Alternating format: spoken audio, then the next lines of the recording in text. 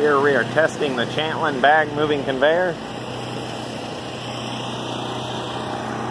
Running very quiet and smooth. It's tracking well. It is in overall excellent condition.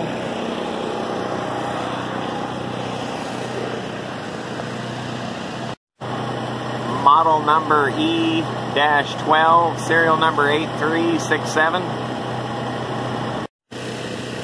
The unit is equipped with a forward and reverse switch. Turn it to the left to run it backwards.